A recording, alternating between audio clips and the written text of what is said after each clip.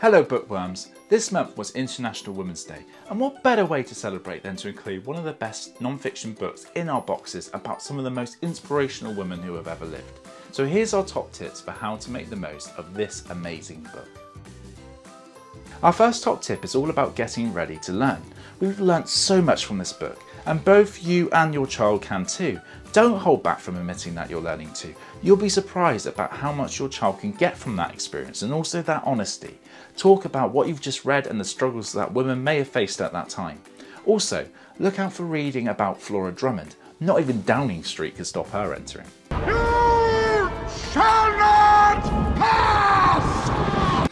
Fat chance. She snuck in and even tried to deliver information about women voting to the Prime Minister himself. Our second top tip is about the amount that you read with your child. We strongly recommend sharing only two different sections at a time. There are loads of different pieces of information on each page, and the reading value really comes from the conversation. Bite sized chunks in non fiction are always more valuable than anything else. Shockingly simple, right?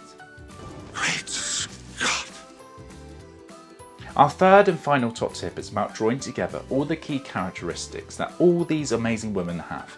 Talk about how they were determined, brave, inspiring, and strong.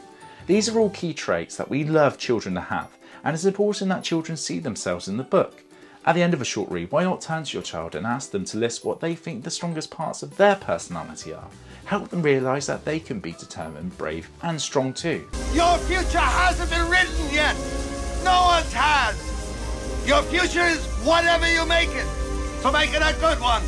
That's a wrap from us. If you like this video, don't forget to subscribe for more content. And if you want to know more about our Let's Go Read book subscriptions for children, then please do check out our website at www.letsgoread.co.uk.